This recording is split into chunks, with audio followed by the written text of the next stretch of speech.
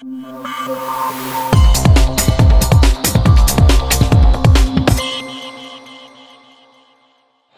saludos amigos de Pío Deportes.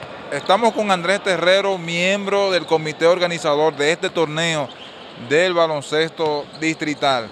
Gracias Andrés por estar con nosotros. Siempre a, la orden de ustedes y dispuesto a, darle cualquier información que ustedes necesiten. Ha pasado una semana ya del inicio de este torneo. Hasta ahora, ¿cómo, ¿cuáles son sus consideraciones al respecto de cómo ha ido y cuáles son los aspectos que deben ser mejorados? Bueno, en primer lugar, yo creo que debo decir que la organización ha sido eh, razonablemente bien. La asistencia del público ha sido bastante bien, eh, comparando con los, últimos años del baloncesto y más que teníamos dos años ininterrumpidos en que no podíamos tener un, torneo. Eh, creo que nosotros hemos hecho un trabajo para que la gente crea confianza en el, el baloncesto, que los equipos pongan en cancha sus mejores hombres y creo que lo están haciendo para tener un alto nivel de competitividad. Y entiendo que todavía cada vez más va a venir más público, va a venir más gente que entiende que aquí hay seguridad, que tenemos la Policía Nacional que se encarga de esa seguridad, de que el comité organizador, encabezado por el, profesor Federico Larane José y por el presidente de Badina, José Monegro, son los responsables junto a nosotros de tener esto en un ambiente de que la gente pueda venir con su familia, esparcimiento, a disfrutar de un buen deporte. El deporte nacional, aunque la gente cree que es el, béisbol, yo creo que el basquetbol es el deporte que más se juega en la República Dominicana y de hecho por eso estamos aquí eh, tratando de, aumentar el nivel del deporte.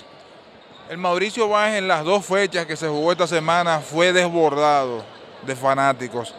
¿Temen ustedes que, pudiese ocurrir algún incidente o se ha pensado en, quitarle de cierta forma la sede al club Mauricio Báez tomando en cuenta la cantidad de personas que, que asistieron esta semana?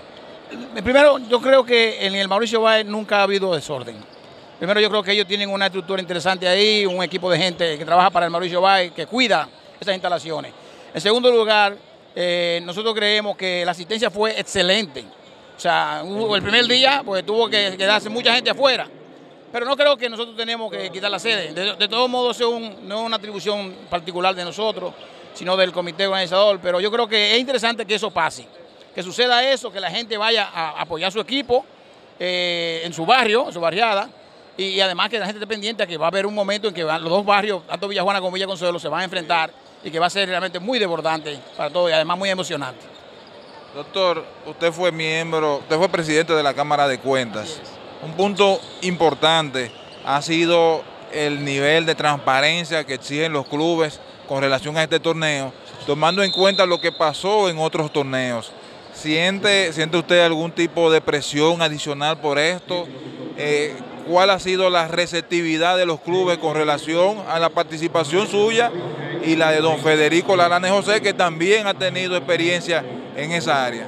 Yo pienso que, eh, dice la gente que es una garantía, yo creo que nosotros hemos actuado siempre transparente eh, en la vida y, es, una, es un plus que dicen la gente que tiene el comité organizador, porque tiene aquí en el mismo el que fue jefe del control interno, interno del Estado Dominicano, que es Federico Larane José, y al que fue jefe del control externo del Estado Dominicano, que es Andrés Terrero. O sea, tenemos un expresidente de la Cámara de Cuentas y un expresidente y un excontralor de la República, eh, además del equipo completo, Monegro, eh, Mejía, Pedro Pablo, que es de los clubes, eh, y Pedro, Tomás, todos, todos estamos aquí comprometidos con esto. Yo creo que la gente sabe que todo va a, salir bien, que lo que tiene que ver con los recursos, el manejo de ellos la transparencia, eso está garantizado. Bien, muchísimas gracias doctor por estar con nosotros. un honor eh, haber, haber contado con su presencia. Muchas gracias a ustedes y a Pío también un, un buen abrazo. Bien, doctor Andrés Terrero, miembro del comité organizador de este torneo de baloncesto del Distrito Nacional.